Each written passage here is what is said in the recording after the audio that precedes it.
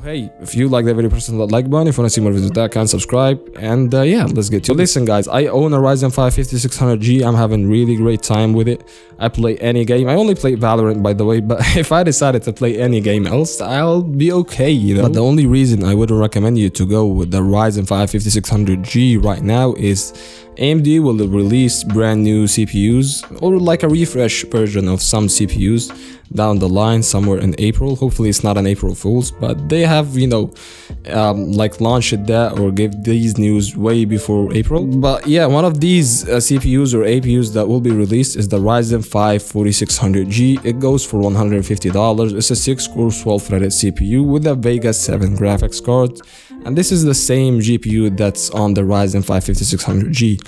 Now, is there any benchmarks about the Ryzen 5 4600G, like leaks for example, or anything like that?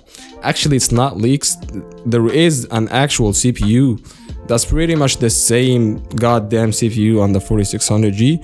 It's called a Ryzen 5 4650G. Now, this is an APU that was on the pre-built OEM PCs like Dell, for example, HP, it's been used but it's never been sold, you know, for the mainstream consumers, only on a pre-built PC.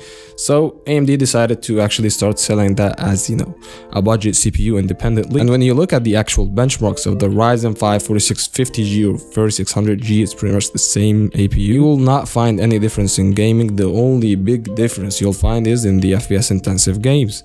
And this is where the 5600G shines. If you decided to play games at 144 FPS locked, for example, a game like CSGO, a game like uh, Valorant, Fortnite maybe, but not 100% sure on that. But these games that don't require a GPU power horse but only CPU, the 5600G will be different in like 20%. But does this justify the $80 difference or the $75 difference that you'll pay on a 5600G over a 4600G? and the second thing is you can hook the 4600G up with a cheaper board than what you would hook the 5600G with. Like for example, there is an MSI A520 on board that goes for $60, which is Ryzen 4000 Series G ready.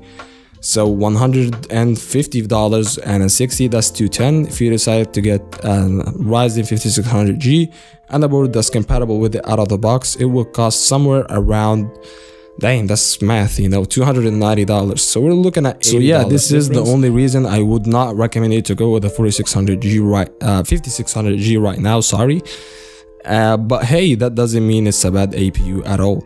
I'm just saying that you can get the same gaming performance in some GPU intensive games for the same price and when it comes to the CPU intensive games you'll not have the same performance but the performance itself isn't bad so hey, that's been it guys. If you like the video, press the like button. If you wanna see more videos of that kind, subscribe. It's been a long day. see you in the next one. Peace.